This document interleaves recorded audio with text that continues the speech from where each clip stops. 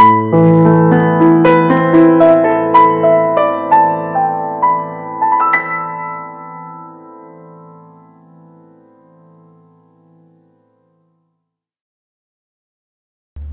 ഡിസംബറിൽ റിയാദിൽ Falcon exhibition ഉണ്ടെന്ന് അറിഞ്ഞപ്പോൾ വെറുതെ ഒന്ന് കണ്ടു കളയാമെന്ന് കരുതി പുറപ്പെട്ടതായിരുന്നു. സൗദി ഫാൽക്കൻസ് ക്ലബ്ബാണ് ഫെസ്റ്റിവൽ സംഘടിപ്പിച്ചത്. എക്സിബിഷനിൽ അഞ്ച് രാഷ്ട്രങ്ങളാണ് പങ്കെടുത്തത്. പതിനേഴ് ദിവസം നീണ്ടുനിന്ന പ്രദർശനത്തിൽ രണ്ടായിരത്തി മുന്നൂറ്റി അമ്പതിൽ പരം ഫാൽക്കണുകളെ പ്രദർശിപ്പിച്ചിരുന്നു. ഫാൽക്കണുകൾക്കായുള്ള പ്രത്യേക മത്സരത്തിലെ വിജയികൾക്ക് ലക്ഷക്കണക്കിന് ക്യാഷ് പ്രൈസുകളും വിതരണം ചെയ്തു. ഫാൽക്കണുകളുടെ വേഗം അളക്കുന്ന നാനൂറ് മീറ്റർ ദൈർഘ്യമുള്ള ചാമ്പ്യൻഷിപ്പാണ് മേളയിലെ ഏറ്റവും ശ്രദ്ധേയവും ജനകീയവുമായ മത്സരം.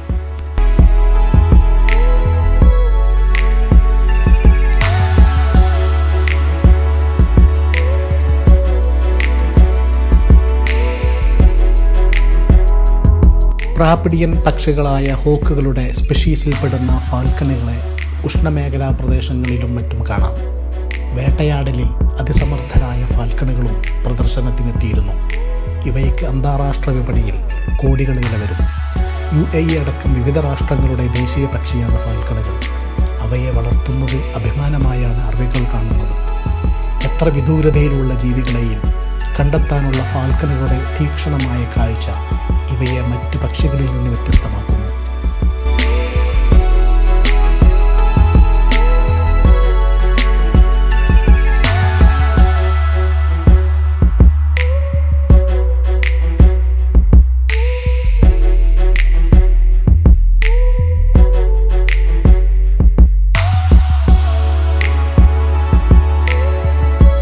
തല കഴുത്തിന് ചുറ്റും പൂർണമായും തിരിക്കാൻ ശേഷിയുള്ള അപൂർവമായ കഴിവും ഇവക്കുണ്ട്. ഫാൽക്കനുകളെ ചികിത്സിക്കാൻ സൗദി അറേബ്യയിലും യു എയിലും പ്രത്യേക ക്ലിനിക്കുകൾ സ്ഥാപിച്ചിട്ടുണ്ട്. ഫാൽക്കണികൾക്ക് പാസ്പോർട്ടും പൗരത്വം തെളിയിക്കുന്ന രേഖകളും യു എ ഇ ഈയിടെ ലഭ്യമാക്കിയിട്ടുണ്ട്. വർഷത്തിലൊരു തവണ എന്ന രീതിയിൽ പ്രത്യുൽപാദനം നടക്കുന്നവയ്ക്ക് പ്രായപൂർത്തിയാവാൻ രണ്ടോ മൂന്നോ വർഷം അത്യാവശ്യമാണത്രേ.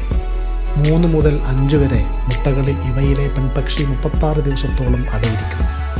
ഫാൽക്കനുകളുടെ സംരക്ഷണത്തിനായി ഗൾഫിൽ ലക്ഷങ്ങളാണ് ചെലവഴിക്കപ്പെടുന്നത്. ഒരു വിനോദം എന്നതിലുപരി ഗൾഫിലെ ഒരു വാണിജ്യ മേഖല കൂടിയാണ് ഇത്തരം എക്സ്പ്രഷനിലൂടെ സാധ്യമാകുന്നത്.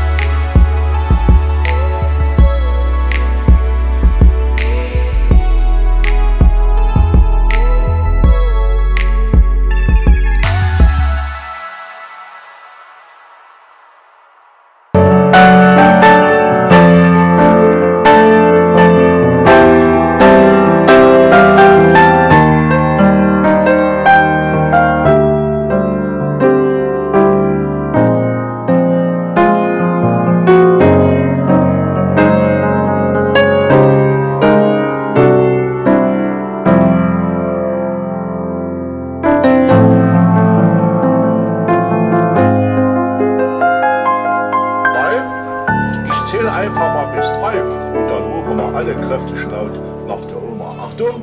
Eins, zwei, drei. Oma! Aber haben wir eine Veranstaltung?